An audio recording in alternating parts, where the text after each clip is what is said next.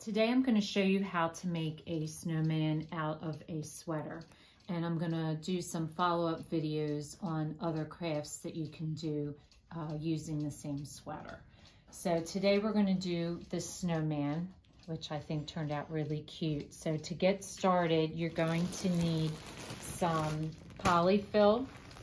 Um, I usually in my sock snowman I use rice but because um, these are a little bit more porous, I've decided to use beans, which I got at the dollar store. I also found these really nice socks at the dollar store, and they're kind of sparkly, which I really like. And I found a scarf at the dollar store that's kind of snowflakey, and it's, uh, you know, it's just a thin um, fabric, which is perfect. Uh, some embroidery thread to match whatever uh, fabric you choose. So I'm using the blue on the sock and the cream on the cream sweater. Uh, pair of fabric scissors, a needle, some oven baked clay. Um, I always keep an old cosmetic blush that I use for my crafts, some beads for the eyes, um, three buttons for the um, for the buttons that you want to use here. And then I also found these at the craft store. They're uh, little snowflakes, came with some sequins as well. So to get started, the last thing you do need to purchase or um, steal out of your closet if you have an old sweater or I went to the um, secondhand store and I got this sweater for $5. And out of this sweater, I can make um, several different crafts. I'm going to try to make a really large snowman and I'm making some smaller snowmen. So the snowman of this size, you're going to use the sleeve. So the first thing you want to do is cut your sleeve um, off. And with that, I'm going to use some fabric scissors to get all my stuff out of the way. Okay, so I'm just going to cut the sleeve off at the top. Um, just going straight across.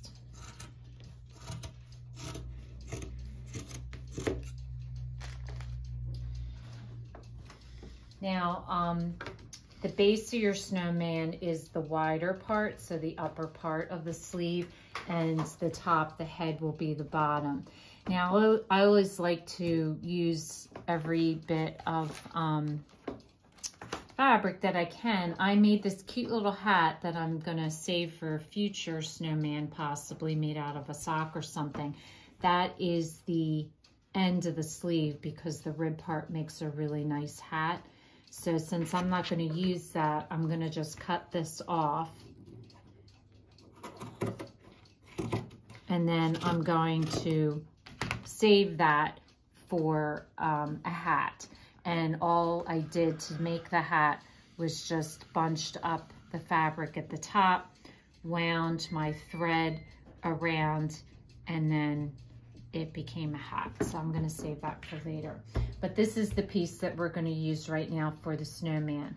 So the first thing you wanna do is you wanna turn your um, sleeve inside out because you're going to gather the base and then you're going to flip it right side out. So I used my cream fabric and my needle and we will do a weaving in and out to gather it together.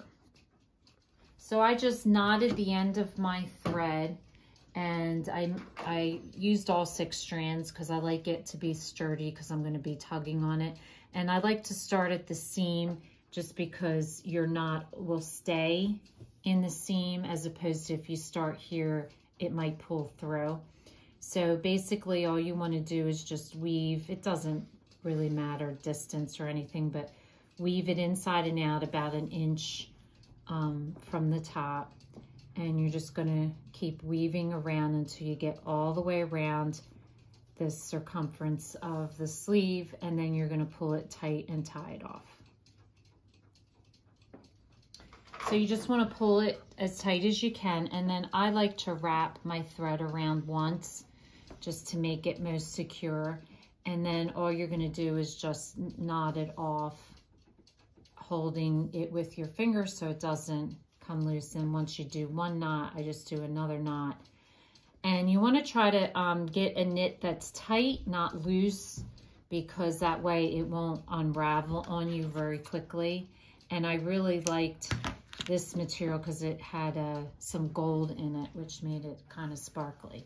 So once you do that, you're going to turn it right side out, and that's going to be your base. That's going to be the bottom of your snowman. Now I'm going to stop right now, and the next thing I do want to show you is how to make the nose. I um, have made noses out of toothpicks, and I've made noses out of clay.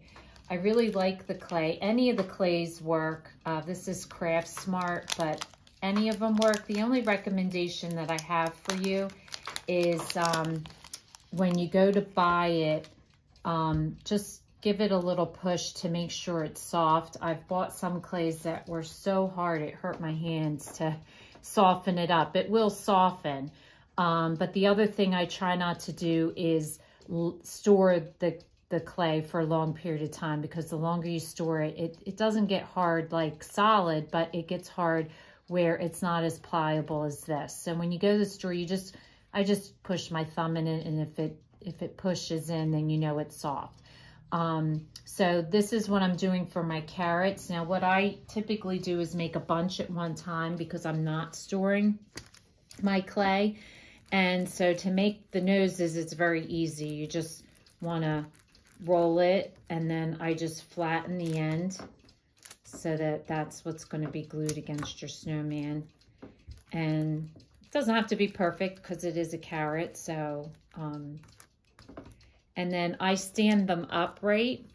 I put them on a piece of wax paper on a tray and then the directions are right on the side of it. You bake it at 275 for 15 minutes and, and then it's it's hard as a rock. So I make a bunch of them so that when I am doing crafts, doing snowmen, I just have a bag of carrot noses in different sizes that I can um, get. So we're going to go ahead and put these in the oven.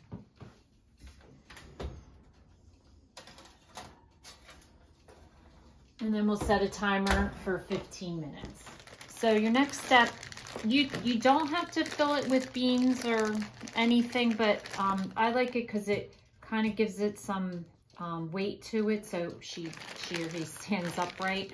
Um, you can just fill it with polyfill, but I like to put a few beans in the bottom, just enough to give it some weight. And then the rest of it I will fill with my polyfill.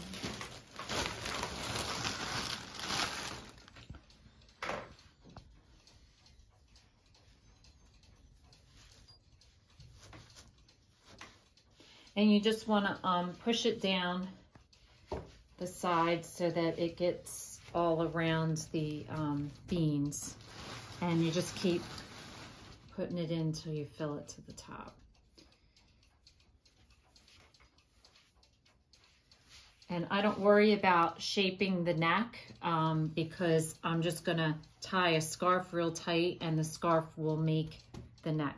So I just fill it as full as I can get it.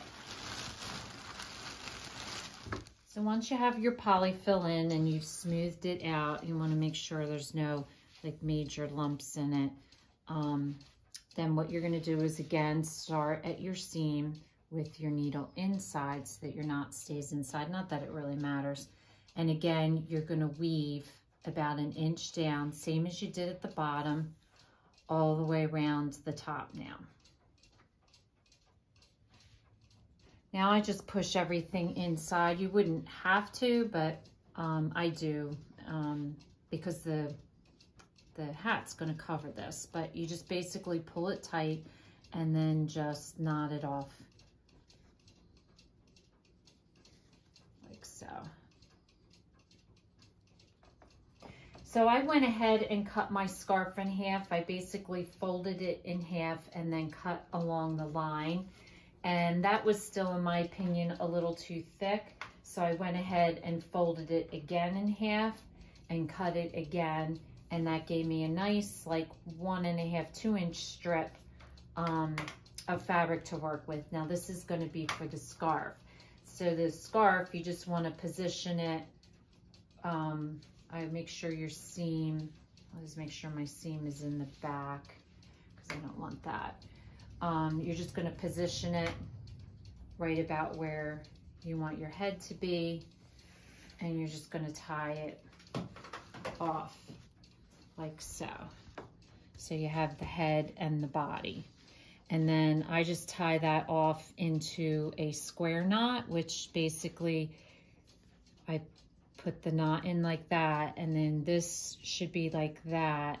And you're gonna come under and then through. And that gives you a nice square knot. And then we're gonna trim off our edges. So that's his head and his body then. And now for the hat, the sock part, I'm using the top of the sock. So I'm gonna cut right before the heel and cut straight across. So this is the top of the sock and it going downwards. And that will become the snowman's hat. So the first thing I'm gonna do is take my blue thread now and I'm gonna gather up the top of the hat. So to do this, all I do is uh, create a knot, put it through, and then I'm just gonna gather that and wrap it around like twice, pull it tight, and then just knot it off. You don't have to weave in and out of it. You can just do it that way.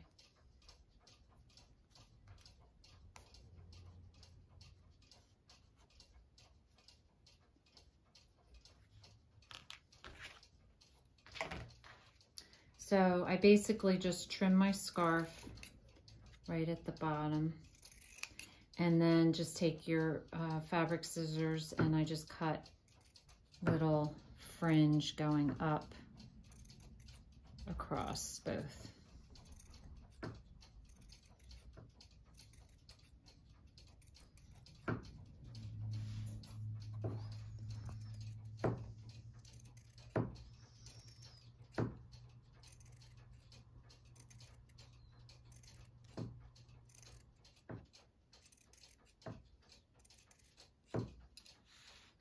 Okay, so the next step is hot gluing.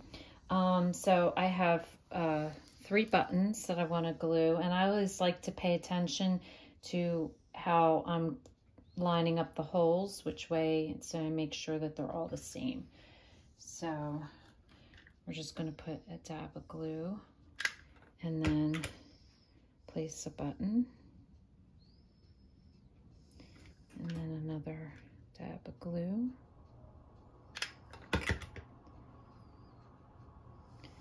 I'm pretty much going down with the line of the knit.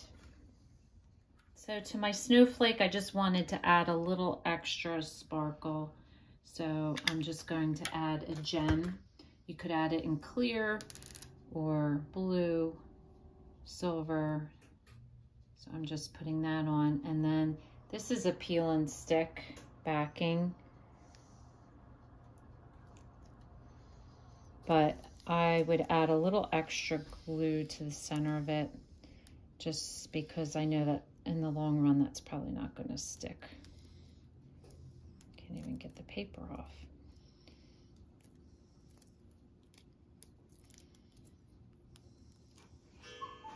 Okay. So I'm going to stick it right on the side of the hat. So I'm just going to add a little extra dot of glue.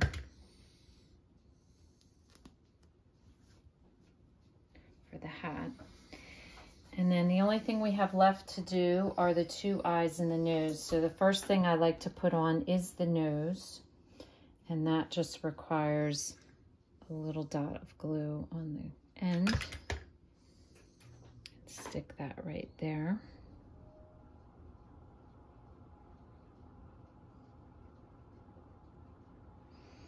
Then for the eyes, I'm you could put the eye on like this way if you want. Or the other way that I did the other eye was I put it on sideways like this. So if you're going to do it like that, then I would do, um, definitely use tweezers. Okay, so it just requires a tiny little dot of glue.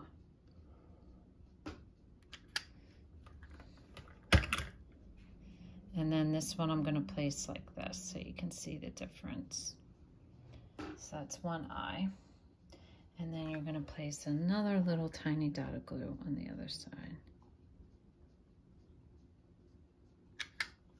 For your other eye. Like so.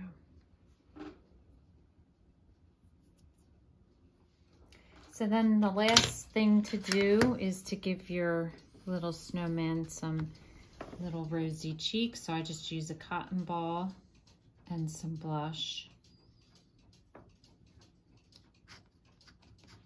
And I just do that on each side.